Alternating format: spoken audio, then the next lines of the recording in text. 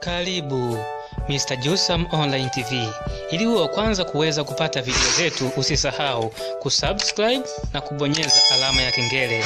Hapo utakuwa wa kwanza kupata makala zetu. Asante.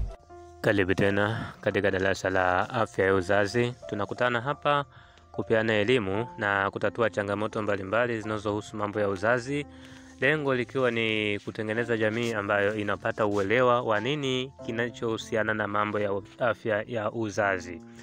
Na elimu katika kipengele hiki bado ni ndogo sana, na ndio maana matatizo mengi yanaendelea kuikumba jamii yetu.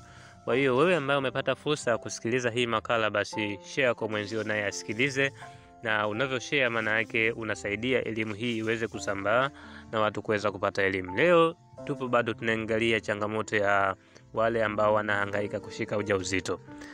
Eh, wewe binti ambaye una miaka ishirini na mbili, kumi na nane, ishirini na tano unatoa mimba kiholela eh, sasa hivi unaweza ukajiona huko mjanja sana, lakini kuna umri ukifikia pale ishirini na nane, thelathini, thelathini na tano kuendelea utahangaikia sana uweze kupata ujauzito, na ukifika umri huo sasa ndipo utaanza kujuta kwamba da kumbe bora nisingetoa mimba, kumbe hivi, kumbe hivi. Sasa katika ishu nzima ya wanaohangaika kupata ujauzito, nimesema kuna sababu nyingi sana ambazo zinaweza zikawa kikwazo kwa wewe kutoshika ujauzito.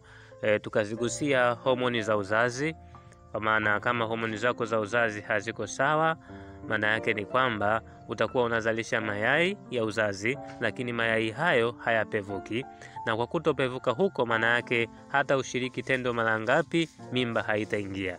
Tulizungumzia changamoto hiyo, lakini pia tukagusia e, swala zima la maambukizi sugu ya bakteria katika kizazi. Kuna ambao wana hii changamoto, na unapopata maambukizi sugu ya bakteria katika kizazi e, yataenda kupelekea moja kwa moja kuziba kwa mirija ya uzazi na mirija ya uzazi inapoziba, maana yake ni kwamba mimba haitaingia, kwa sababu mbegu za kiume zitamwagwa, lakini zitashindwa kupita kwenda kulitafuta yai. Nitajuaje nina maambukizi sugu ya bakteria? Utakuwa unaugua UTI mara kwa mara isiyopona, utakuwa unaugua PID mara kwa mara isiyopona. PID ni nini? Ni kifupi cha neno pelvic inflammatory disease, kwa maana ya maambukizi ya bakteria katika via vya uzazi.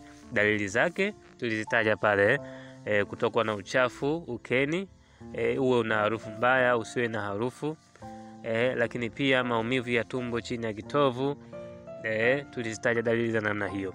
Kwa hiyo sababu ya pili inawezekana ni hayo maambukizi sugu ya bakteria ukeni. Lakini swala la tatu tukasema kama umetoa mimba e, kuna uwezekano mkubwa kwa asilimia tisini na tisa ukahangaika mno kupata mimba nyingine. Kwa nini? Tukasema hakuna njia salama ya kutoa mimba, hakuna njia salama ya kutoa mimba hizi za, za kemikali. Kwa hiyo mwisho wa siku utapata matatizo mawili. Tatizo la kwanza, utoaji huo mimba unaweza ukapelekea homoni zako za uzazi zivurugike kabisa, au inaweza ikapelekea mji wa mimba uweze kupata udhaifu, weakness katika, eh, katika uterus wall. Kwa udhaifu huo, maana yake ni kwamba mimba haitaingia, na hata ikiingia ndani ya mwezi mmoja hadi mitatu ya ujauzito huo utatoka wenyewe. Tulizungumza kwa upana sana swala hilo, lakini pia sababu nyingine tukaja kugusia katika swala zima la ute wa uzazi e, tukasema kama uke wako unakuwa mkavu katika zile siku za kushika mimba, basi kuna uwezekano mkubwa usishike ujauzito, kwa sababu ute huo wa uzazi una faida ya kuzisaidia mbegu za kiume ziweze kusafiri haraka kwenda kulitafuta yai la kike ili mimba ipatikane kwa urahisi, lakini pia inazisaidia mbegu hizo zisiweze kufa tu zinapomwagwa hapo ukeni mwako. Hiyo ikawa ni sababu nyingine ya kwa nini sishiki ujauzito, lakini tukazizungumzia swala la stresi na kadhalika. Lakini leo tunakuja katika swala zima la mzunguko wa hedhi, kwa maana ni moja ya sababu pia. Tukasema hedhi inapovurugika, maana yake ni kwamba kushika ujauzito nako inakuwa ni kazi, kwa sababu hedhi ikivurugika ni kazi kuzihesabu na kuzitambua zipi siku za kushika mimba na zipi sio siku za kushika mimba.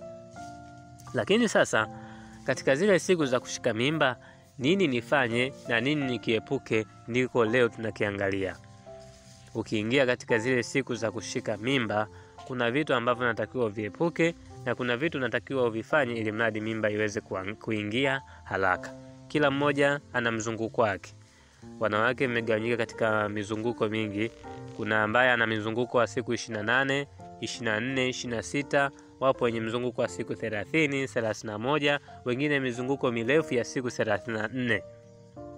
Juu ya hapo hedhi yako sio salama, na chini ya hapo hedhi yako sio salama. Yaani ukipata hedhi ya mzunguko wa siku 19, 20, 21, tunasema hedhi sio salama. Na ukipata hedhi ya mzunguko wa siku 40, yaani umekaa siku 40 ndio unaingia hedhi, unakaa tena siku 40 ndio unaingia hedhi, hedhi yako hiyo sio salama. Lakini kuingia mara mbili ndani ya mwezi mmoja, hedhi sio salama. Au kutoa damu nzito yenye vinyamanyama hedhi yako sio salama. Sasa kwa wewe ambaye unaingia katika mzunguko huo wa kawaida na ukawa unazitambua sasa, siku zangu za hatari ni hizi, kama uzitambui, unahitaji upate darasa, na usione shida wala gharama kumtafuta mwalimu akakuelekeza uzitambue siku zako hizi. Nalielekeza swala hili kupitia WhatsApp kwa namba zangu hizo hapo na gharama ni nafuu tu, elfu kumi na tano. Napata ushauri, vya tiba na kadhalika na kadhalika kwa gharama hiyo hiyo moja tu ya elfu kumi na tano. Sasa vitu gani ni viepuke e, inapotokea nipo katika siku za kushika mimba? Jambo la kwanza, watafiti na wanasayansi wanasema epuka kutumia soda. Soda hizi tunazifahamu eh? Eh, katika zile siku za kushika mimba epuka basi kuzitumia. eh, Hata kama utafiti huo utakuwa na asilimia fulani, wewe usifanye tu, kwani usipokunywa soda utakufa? Siaufye eh, basi zile siku za kushika mimba epuka kutumia soda na vinywaji ambavyo vina sukari nyingi kupitiliza, viepuke katika siku hii. Ikiwezekana wewe piga maji yako tu basi, siku nzima ishe hivyo kwa kinywaji hiko. Siku za kushika mimba zinafahamika, siku ya kumi na moja Eh, hadi siku ya kumi na saba toka siku ambayo umeingia hedhi. Sasa katika siku hizi eh, kama unatambua kuzihesabu vizuri kutokana na mzunguko wako, basi zikifika siku hizo epuka kutumia soda na vitu ambavyo vina, eh, vina sukari nyingi. Kwa nini? Wanasema matumizi ya vinywaji hivyo vyenye sukari nyingi pamoja na eh, soda eh, vina uwezo mkubwa sana wa kufanya hormonal changes katika mwili wako, mabadiliko ya ghafla ya homoni katika mwili. Na mabadiliko hayo ya ghafla ya homoni katika mwili yakitokea, inawezekana kabisa ikafanya delaying of the movement of eggs from the ovary, inaweza ikapelekea kucheleweshwa kwa mwendo wa yai kutoka katika vifuko vyake. Yaani badala ya kutumia dakika kumi na tano kutoka katika vile vifuko, inawezekana lile yai likawa linatoka taratibu hadi siku ya nane ndio linatoka kabisa. Sasa siku ya nane hata ukishiriki, maana yake tayari lile yai ubora wake umeisha na siku zenyewe za kushika mimba zimepita. E, vinavyowezekana kuviepuka tuviepuke, kwa sababu havina havina havina gharama yoyote. Hilo ni jambo la kwanza. Lakini jambo la pili, usinywe pombe. Pombe acha kabisa. Zile siku zote za kushika ujauzito acha kutumia pombe, acha tu. eh, kunywa vinywaji vingine, maji safi, siku zitapita hivyo. Baada ya siku zile za kushika ujauzito, endelea na mambo yako. eh, kama ni soda kunywa, na hiyo mengine fanya hivyo, lakini siku hizi acha, kwa sababu tafiti zinaonyesha hivyo. Ukinywa pombe siku hizo kuna uwezekano mkubwa sana wa kuzidisturb hormones ambazo zinasababisha au zinawezeshwa urutubishwaji wa yai lako wewe la mama. E, inawezekana kwa kufanya hivyo tu ikawa sababu usifike ujauzito. Lakini jambo la tatu, epuka zile caffeine drinks, vinywaji ambavyo vina kiwango kikubwa cha caffeine. E, caffeine ni moja ya drugs ambayo inapatikana katika vinywaji ambavyo tunavitumia. Kwa mfano, majani ya chai. Majani ya chai yana caffeine. Eh, yana caffeine. Sasa katika hizi siku za kushika ujauzito hizi, inawezekana ukabadilisha chai yako. Badala ya kuweka majani ya chai, mama, weka unga wa tangawizi, pika chai hiyo.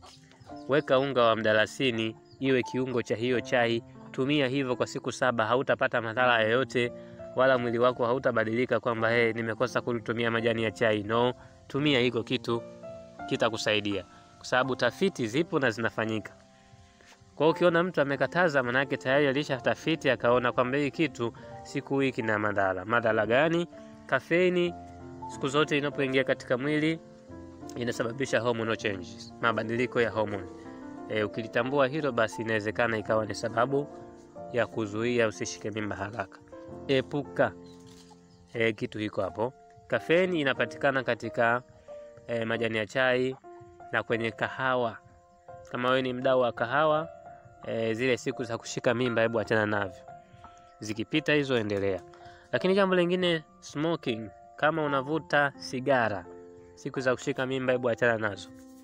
Tafuta kwanza mimba, alafu utaangalia kwanza mwanamke unavutaje sigara. Unajua kuna vitu akivitumia mwanamke huwa havimpendezi, yani hata kama muonekano tu. E, mwanamke unatumiaje sigara? Okay, kama ni kilevi chako siku hizo achana nazo. Lakini kitu kingine e, cha kuzingatia, hakikisha kwamba e, unapata usingizi wa kutosha. Hizi siku za kushika mimba hizi, kama ulikuwa na, na utaratibu wa kulala saa nane kuamka saa kumi na moja hebu unaweza ukabadilisha kidogo hiyo timetable yako. Kama ulizoea kulala muda mbaya, yaani unapata muda mchache wa kulala kwenye hizi siku za kushika mimba zote hizi, shiriki tendo mapema na mwenzi wako saa mbili, saa tatu, saa nne huo umeshalala. Amka saa kumi na mbili asubuhi, almost kutakuwa na masaa nane pale ya kulala. Yani kiafya inatakiwa hivyo, masaa sita hadi nane ya kulala katika siku hizi za kushika ujauzito. Imeonyesha kwa wengi waliolala hivyo wamepata ujauzito mapema kutokana na research ambayo imefanyika. Kwa maelezo hayo basi, epuka hivyo vitu ambavyo nimevitaja na zingatia yale yote ya msingi. E, Mwenyezi Mungu atakusaidia utashika ujauzito. Lakini kwa wewe ambaye una changamoto ambazo nimezitaja hapo zinazopelekea wewe usishike ujauzito, nitafute kwa WhatsApp. Nimesema hapo utalipia huduma, nitakuelekeza vyakula tiba asili kwa ajili ya matatizo yote hayo, lakini elimu pana ya kufahamu na kutambua mzunguko wako, ili mradi na wewe uianze safari ya kutafuta mimba. Usikate tamaa. Eh, kuna wengine da, yani mimi nimehangaika miaka minne mimba sipati, yani nimeshakata tamaa kabisa. Usikate tamaa. Kukata tamaa ni dhambi. Kikubwa, kama ulitenda dhambi ya kutoa mimba, tubu dhambi hiyo. Mungu wako akikusamehe akakupa kibali, basi mimba utapata nyingine tena. Asanteni sana na niwatakie siku njema.